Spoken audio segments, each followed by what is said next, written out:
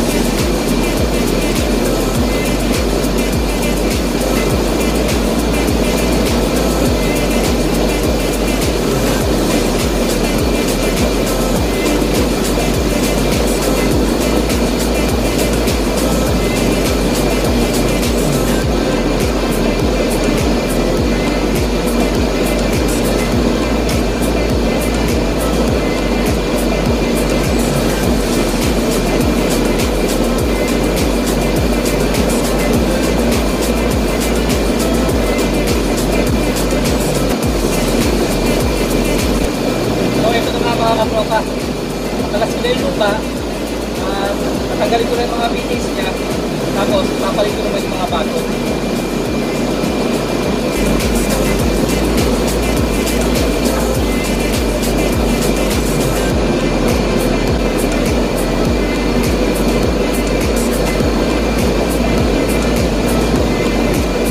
So ito yung bago niya papalit ko mga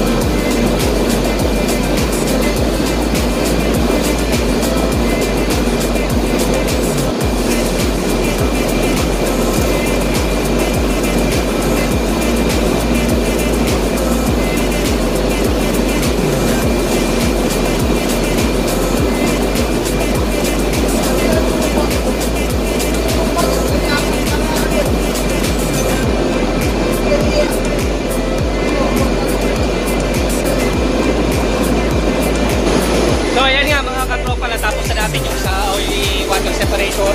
Napalitan na natin. So lilipat na ngayon sa clean fields. Yun naman ang papalitan ko ng sensor. Samahan nyo. Sa baba.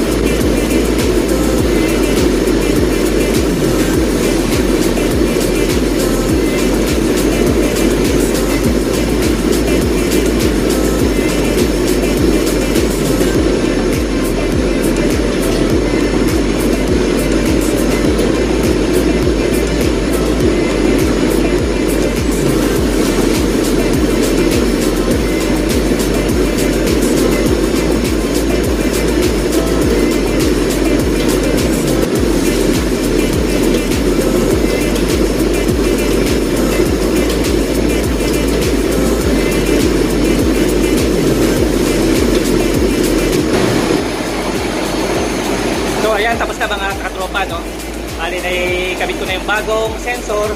At doon sa alarm niya is nagkaroon ng sensor disconnected dahil tinanggal ko nga siya yung pinaka-sensor niya. So maraming salamat nga pala mga katropa sa inyong panonood. At kung hindi pa kayo naka-subscribe, please subscribe, like, and hit the notification bell. Para sa mga susunod nating video ay updated kayo. Ah, bago nga pala matapos itong video ko, uh, shoutout nga pala kay Mrs. Yaelita, kay Cafe Chief, dalawang anak ko, at shoutout kay katropang Redmi Toledo. Maraming salamat katropa sa iyong panonood at sa iyong comment hapunan na. Kaya ayaw iwan sa inyo. Ingatan nyo yung katawan. And God bless.